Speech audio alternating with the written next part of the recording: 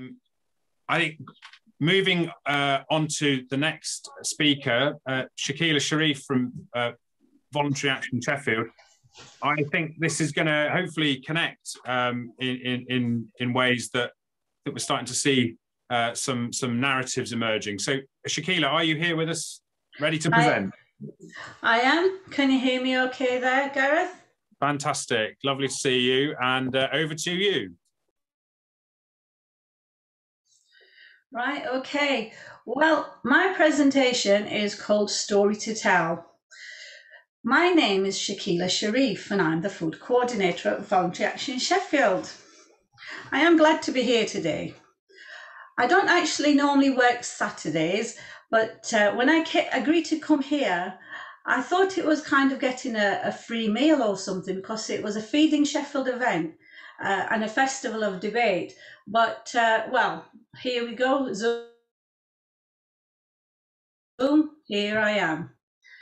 But then I remembered there's no such thing as a free lunch. So my sweet and sour presentation is about food and poverty. What do I do at VAS and what would I like to see? So what I'd like to do is tell you a little story. Let's start with the four W's. Now, for the academics, acad- can't even say that word. For the academics amongst you, I hear, well, I've seen there's a few of you here today. You'll know what I mean the why, the what, the where, and the when. But don't worry if along the way this all turns into a plate of mash. Maybe I'll leave that for another day. So in 1954, Mr. Maslow talked about the basic human needs. He was right on. He really was when he said we need affordable food, decent housing, and health and well-being. So get your teeth around that. We're still talking about it. Affordable, healthy, nutritional, meat, veggie, halal, gluten-free, or other dietary requirements, and not forgetting culturally appropriate and accessible, well, accessible too. And that's just the food. Hard nut to crack. Now, our friends at the food banks, who I get on really well with, by the way, in Sheffield, they had a big ask in 2020 when the big C hit. They did what they could and at one point in the pandemic, increase was well over 80%. They did provide uh, VAS with lots of data and the increase was massive, but they're still here to tell you the tale. So is it really food, glorious food? Why do we talk about food poverty? Do we mean just poverty or are we making a meal out of nothing? Food banks, they provide a parcel of food following CAB, maybe a doctor or your midwife too. So when the pandemic hit, there was no pasta, beans and flour around.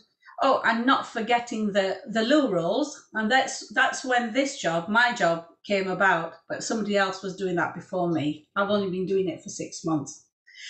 Now, now that the paper, the flour and the pasta is back on the shelves, the agency to share the numbers and data isn't quite here, although I'm still working on it. I'm trying to get more. But let's not sugarcoat the problem. We do, we do know that food, hunger. So, one of the issues that came to light in the pandemic was the BME food bank users that we'd not really seen before. The pop-up BME food banks almost overnight, including halal one, came into sight.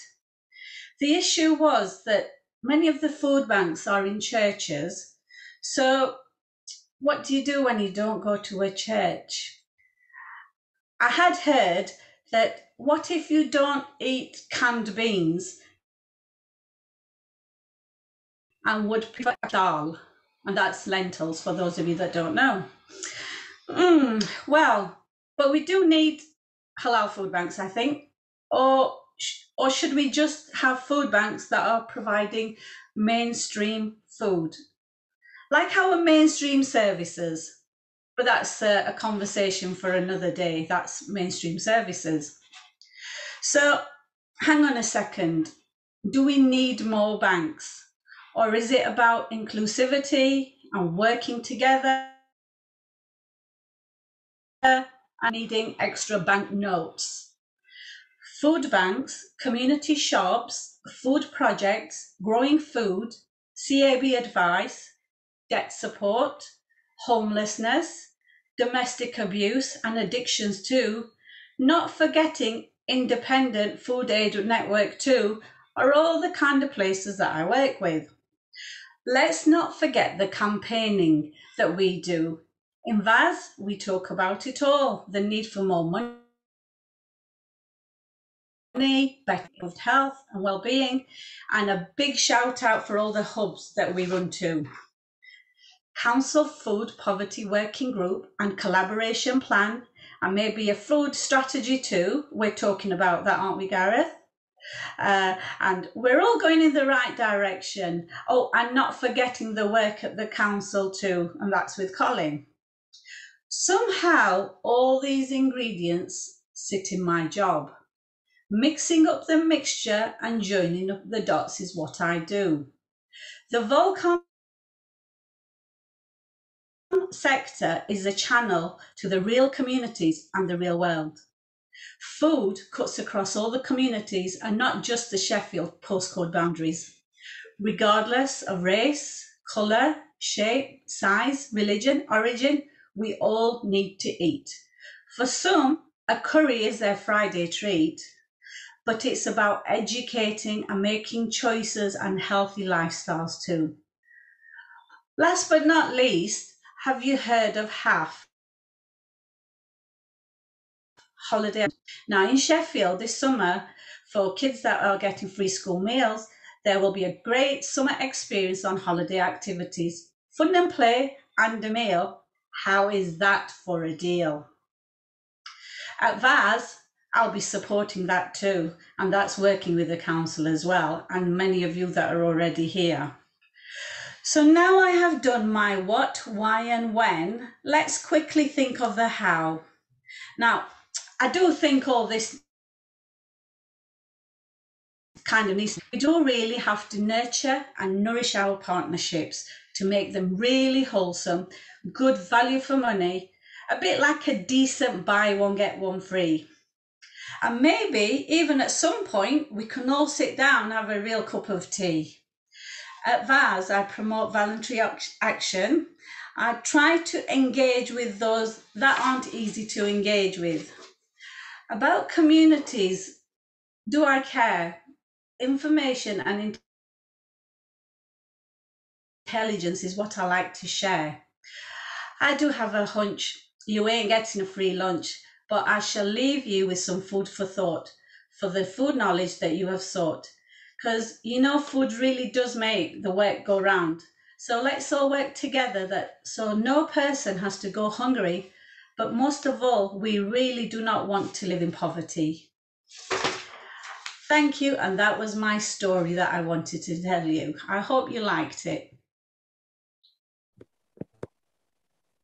I, I certainly did, Shakila. There was there was poetry, uh, and I lost count of the food references. You you were weaving so many beautiful food references in there. Um, thank, thank you. you. so much. Thank you very, very much. Okay. Um, See you, Namo. Yes, you will indeed. You will.